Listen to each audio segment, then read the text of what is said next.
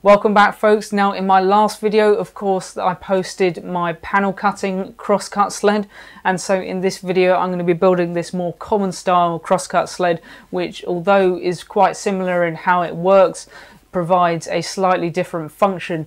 Now if you didn't catch my last video be sure to check that out just here because there's some useful building instructions in that which I didn't really want to cover completely again in this video I just felt it would be a little bit boring if I did that. With the runners milled to exactly the right width. Just like when I made my panel cutting sled, I'm using the same CA glue trick to temporarily attach the runners to the sled.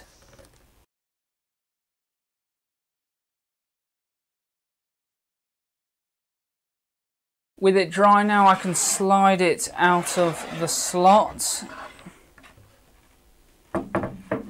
And now I'm fixing the rails in place with a few short screws.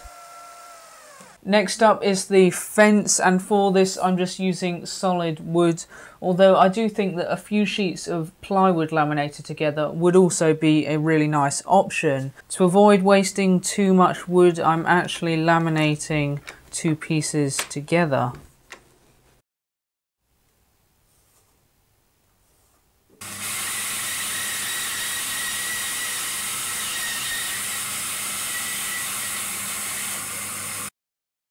Just before I fix the fence to the sled, I'm just making sure to see that it sits nice and square to the surface of the sled, and it does seem to be pretty good.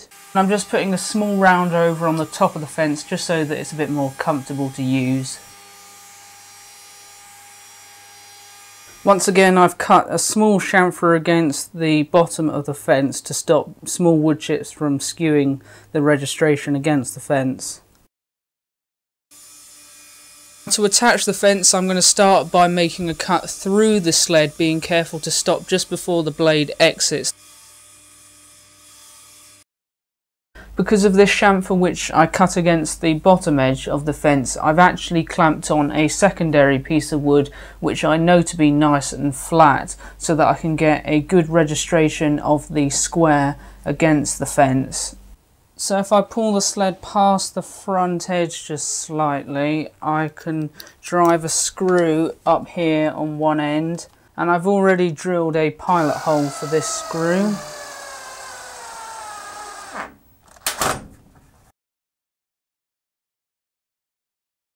I've just wedged this steel rule into the kerf left by the saw blade and that will give me a far better surface to reference against than if I was just to try and reference against the saw blade alone. And now I can butt this framing square up against it and because of that single screw I can pivot the fence to the point where it's just in square and when I think I've got it just about right I can slide it carefully just off the back again and I can clamp it down and drive another screw.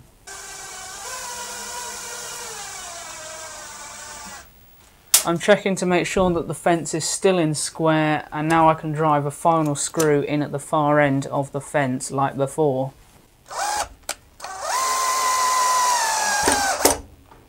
I'm performing a test cut to make sure that the sled produces adequate results Wide boards such as this will help to identify any errors and of course if the results aren't adequate you can simply remove the second two screws and try again. So that seems to be pretty good really, I'm certainly happy to leave it at that. I'm adding this strip at the back of the fence just to add some support.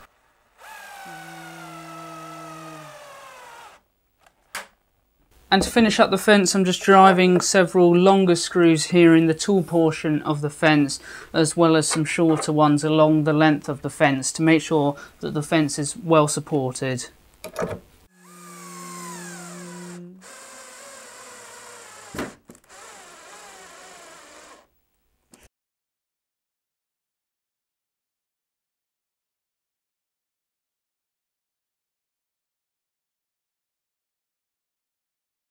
Hope you all enjoyed these two short videos on building crosscut sleds. If you happen to have a table saw, they can be really useful accessories to have. I've also posted a couple of links down in the description to two more videos about building crosscut sleds from other YouTube personalities, which I think you might find of quite a bit of use if you intend to build a crosscut sled yourself. As there always is, there's also links down in the description to my YouTube blog channel, which you can also subscribe to, as well as, of course, like me on Facebook and follow me on Twitter, etc.